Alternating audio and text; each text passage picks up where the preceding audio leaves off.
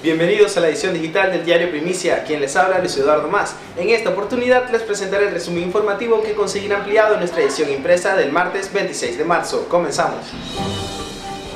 Wilson Castro, coordinador operativo de la campaña de Enrique Capriles a nivel regional, anunció que se mantendrán activos durante la Semana Mayor.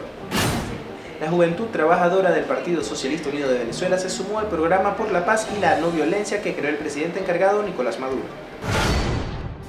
Seis días tienen las áreas de las Palanquillas, Ibarra y Alambrón de Sidol paralizadas debido al descontento de los trabajadores por el mal servicio de los alimentos de la empresa. El primer vicepresidente del Partido Socialista Unido de Venezuela, Diosdado Cabello, sentenció que el principal objetivo de la oposición es que el pueblo se olvide del fallecido presidente Hugo Chávez. Informe médico concluyó que Fujimori actualmente no tiene cáncer. El expresidente peruano Alberto Fujimori, que regió el país desde 1990 hasta el 2000, no padece actualmente de cáncer de lengua. El argumento principal que usó para solicitar que se le fuera otorgado el indulto humanitario. Le damos el pase a Teodoro Jansen, quien nos reportará lo más importante del acontecer deportivo.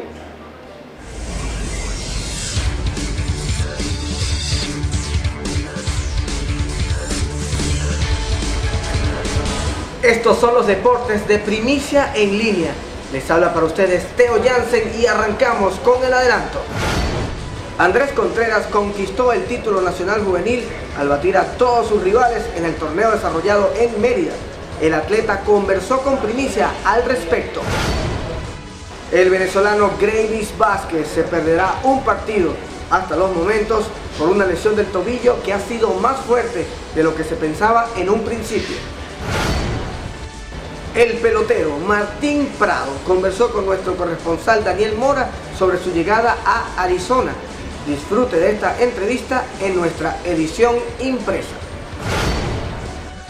Venezuela se enfrenta este martes a Colombia en el CTE Cachamay, en las eliminatorias suramericanas al Mundial de Brasil 2014. La oncena criolla tiene la necesidad de ganar en casa para seguir en puestos de clasificación.